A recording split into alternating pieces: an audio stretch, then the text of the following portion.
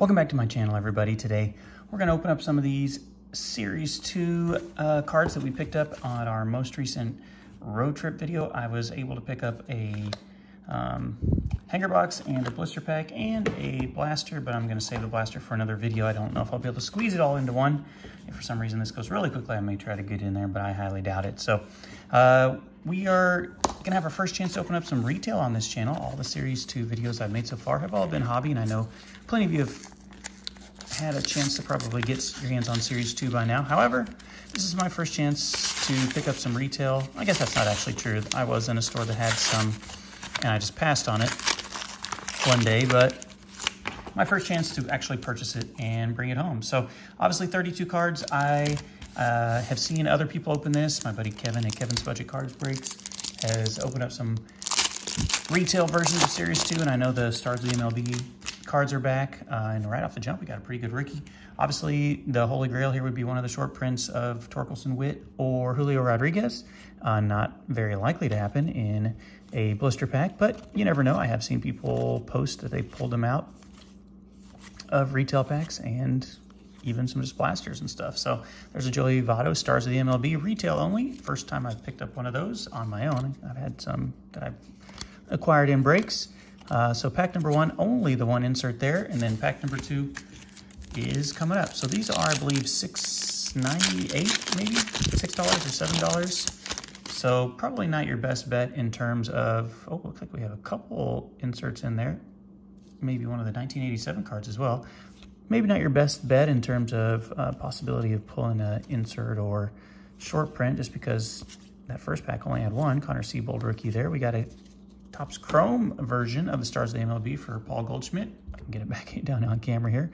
Got a 1987. Oh, it is a Seattle Mariner, but Mitch Haniger, who I believe is still injured. I think he's on his way back. And then we have the other Paul Goldschmidt. So back-to-back -back Paul Goldschmidts. One is the Chrome version. One is just the rainbow foil version.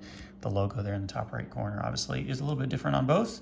And then to wrap it up, we have Canha, Alfonso Rivas, Bodie, Michael Chavis, and Stephen Ridings rookie card for the Yankees. So uh, there you kind of see the difference between the two packs. Looks like we ended up with four inserts out of the 32 cards, which isn't too bad, but obviously uh, you probably have better odds of getting something really nice out of something like a hanger box or a blaster, although, I don't know, hanger boxes can sometimes be absolute absolute fire, and then they can also be complete duds. But you get 67 cards. I believe this was, uh, I don't know, $14 maybe, $15?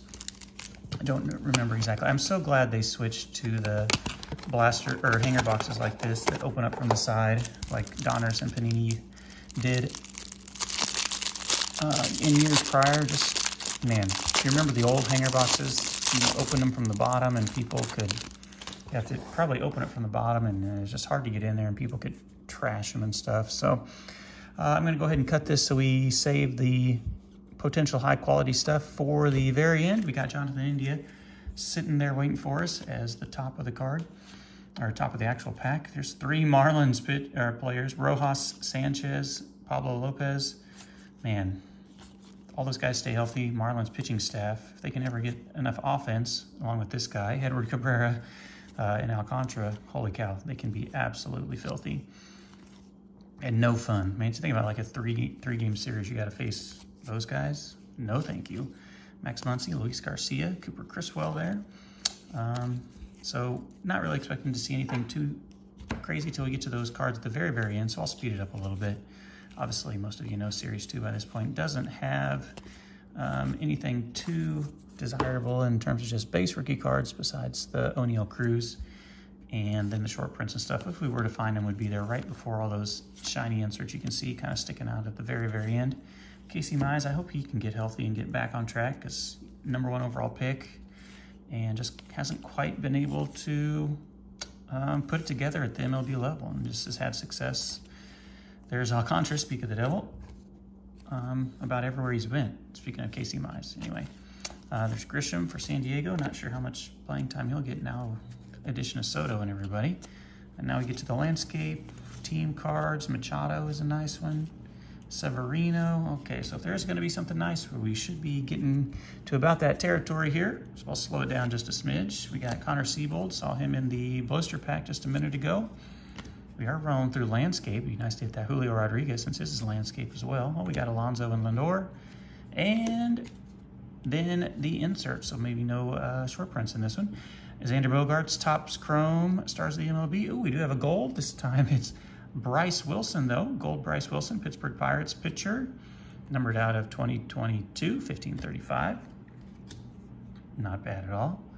Uh, Miguel Cabrera, Stars of the MLB, Ozzie Albies, Adolis Garcia, and JD Martinez. So uh, that should take care of the Stars of the MLB. The last few insert cards, we have Rafi Devers, in the 87 All-Star Edition, and Xander Bogaerts, his buddy there for the Red Sox. Sweet Shades, and then these last few will just be base cards, Patino, Gurriel, and Jordan Lyles. So there you have it, guys. I'm going to wrap this up in about six minutes, so thank you so much for watching. Did not come through with any of the um, crazy short prints, but the odds would always have favored that anyway. So thank you so much for watching, and I'll catch you in the next one. See ya.